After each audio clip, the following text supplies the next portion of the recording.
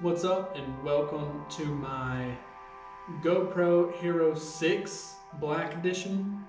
So this is just the. Uh, I had before I bought the Hero 6, I was using the Hero 4 to film my videos, and I've stuck with GoPro since like probably day ones. I had a regular GoPro when they came out with them. Uh, well, actually, it was a little bit after they come out with the GoPros. Then I went to the GoPro. I went from that to I jumped to a Hero 3 Plus because I used the GoPro Hero 1 for a very long time. I'm pretty sure I have. If I have some footage, I'll put that in here. Then I jumped from a GoPro Hero 1 to GoPro Hero 3 Plus when they came out with it. It, the and I, I really wasn't looking for a camera when I got this camera, but I had started filming a lot of videos and and with a my friend across the street. I'll link his channel in the description because I'm talking about him or whatever. But uh, his name is Brandon. He films a really good amount of videos, and me, he used a GoPro, so it really interested me into getting one. So I bought one. Bought one. Uh, this was back in 2000. 2011 I want to say it was 2011 when I bought it. Pretty sure it is. And I stuck with the Hero 3 until I bought the Hero 4. And I bought the Hero 4 when uh, a little bit right after they come out with the Hero 4 when I bought it. But anyway, I've stuck with Hero 4 ever since. No, actually, yeah, that's right. They come out with Hero 4. A guy bought the Hero 4. This is like his story about it. He bought the Hero 4 and he couldn't get to work with the SD card. He bought the SD card off Wish, which is when Wish had come out, bought a 125 gigabyte SD card and he put it in there and it didn't work. So you know you have to have the special SD cards for the Hero 4 and up. And he bought the wrong one, so he couldn't get it work. So he sold it to him for like 200 bucks even. And at the time they were like at $300 if you bought it. It came with, you know, a limited amount of stuff, but it still came with stuff. Well, he had already bought a bunch of stuff for it, so I gave him $200 and give it to me. I went and bought the right SD card, popped it in, and it worked. so, so that was pretty cool. but ever since then, which was I think it was in 2000. see, I think that was 2014 or uh, 2000. No, it was 2015 or 16. I'm not exactly sure when I bought the four. But I know I had it for a very long time because I used it to film every video from then until almost now. I still actually use the Hero 4, but I just use it for time lapse, you know, what video time lapse. This is much easier to do that, just to take it, drag it, drop it, and bam, you got your video time lapse. So I still, I was using it up until I bought this camera, which is the Hero 6. I really love the Hero 6. It's got good sound quality, and the reason I sound like crap right now it's because I'm in my shop and I have no sound deadening in my shop, so it's just echoey and there's not anything going on right now. So like in the shop, so it doesn't like kill the echo in here. But uh, I really love it. It's got a very good mic on it. Uh, the only problem is the external, um, the external case that it comes in that you can put uh, on or whatever. It's kind of like when you move around, especially like I have this, it's like a, it's like a little selfie stick thing or whatever, but you can extend it out and stuff. But when I have it on this, see, it's got a little rubber thing on here that you can hold. But when you move around a lot and you're doing this, it will, you can hear it in there because of the case. That's the only issue I find with this. Uh, I recently started filming in 4K. Usually, I usually film in 1080, 60, and I never really messed with 4K. I'm not a camera guy. I didn't know, you know, didn't know anything about. I'm not really, I'm not really educated on cameras, and that's kind of why I stuck with the GoPros because you point and shoot. You don't have to go through all your settings. You don't have to set everything up and stuff like that. And you can kind of choose like the format uh, you want to shoot in. I haven't really learned about the camera settings until recently, and I started looking into stuff, and that's why I'm shooting in 4K now. Shoot at 4K, it's 4K at 60 frames per second. If I want to do slow-mo stuff, I'll shoot at like 240 frames per second for 4K.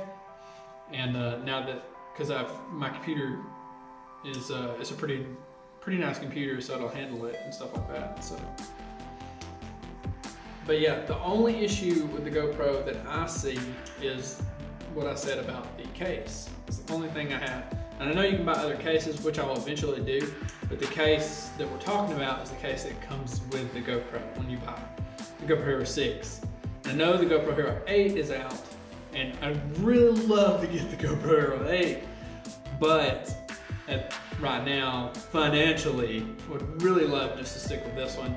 And so I have been, and uh, the footage is great as far as I can tell. Uh, has when you're shooting in 1080, it's and you're walking around, you know, it's got the stabilization in this one. It's like I think it was one of the first cameras to have the stabilization. But anyway, you can correct me if I'm wrong. I'm not totally sure. But anyway, when you're walking around, uh, it doesn't even feel like you're just like you're even walking because the camera's so steady. Now I shoot 4K at 60, and it doesn't offer the the stability uh, part in 4K at 60 frames per second. So that's why You also see when we're out filming.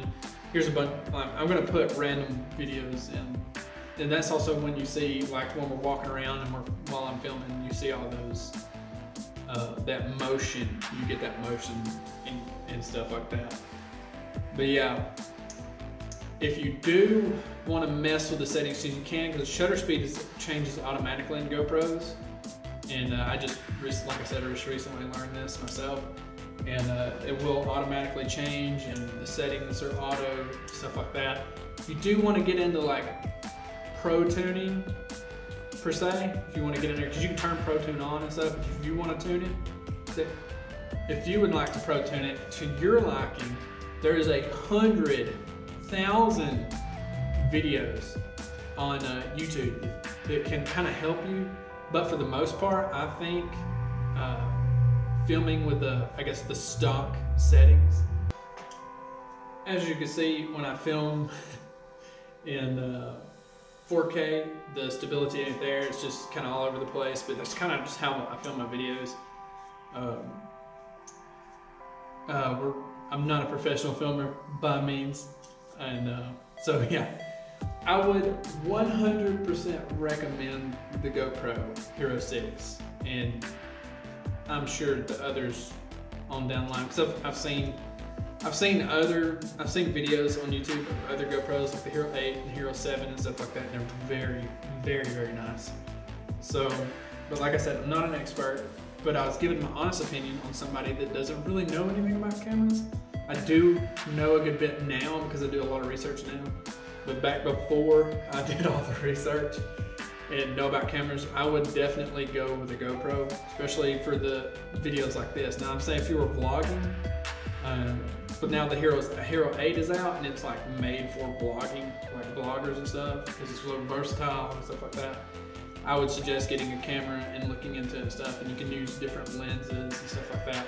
But if you're filming stuff that I'm filming, I guess I would, and you wanted not necessarily a cheap camera, but an affordable camera that will film 4K 60 and 4K at 240 frames. GoPro Hero 6 is a very nice camera to buy, especially for this. And you can, it's got the zoom feature on this one, and it's pretty indestructible. I'm not totally sure how indestructible it is, but uh, I do know it is pretty, pretty durable. And because uh, I put mine on a drone I've crashed a thousand times. So it is pretty, um, so it is pretty durable because it fell from like, it fell from like almost 100 feet at one point. I totally just broke this. but uh, this is just, this is not GoPro. This is like a $20 um, like you buy that $20 pack off eBay and you get like a bunch of stuff to hook up your GoPro to other stuff. Like you get the little suction cup thing, you get like the headband and the chest piece and all that. Like I bought that and I've gone through so many of these. All so many of these things. It is insane. But yeah, if you if you're here because the review of the GoPro, if you want to, I would ask you to subscribe. But I don't know how many videos I'll I don't know how many cameras I'll review in the future. So if you're here for a review, um, thank you. Please leave a like on the video. if you want to subscribe, uh, really helps me out or whatnot. You know, helps me grow my channel. But if you are interested in seeing the videos that I film on my GoPro, every video on this channel is filmed with a this GoPro or my GoPro Hero 4 mostly. So yeah, every video is filmed with either a GoPro Hero 4 or this GoPro. Now I will have a new camera in the future, which will probably be more along the lines like the Hero 8, because that's the next one I'm gonna get, I believe. But that's, you know, maybe a year or two or so, until I can just get tired of this camera, I guess. Or this camera software is just not up to date anymore. But yeah, if, uh, if you want to check out other videos that I filmed with the GoPros, uh, like I said, every video is filmed with a GoPro, so just go, if you want to, go check out my other videos and let me know what you think of those. Hopefully you like those videos and you subscribe and there's more videos to come because I'm going to be doing a lot of videos.